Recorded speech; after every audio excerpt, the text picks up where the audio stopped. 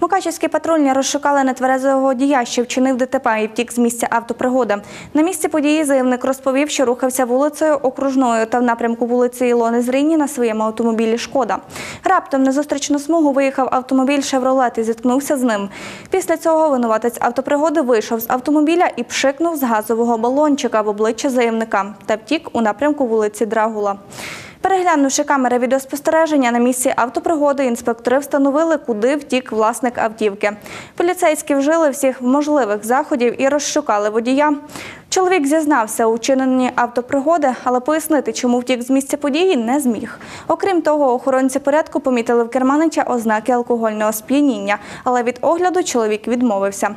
На громадянина склали адмінматеріали за кількома статтями Кодексу України про адміністративні правопорушення.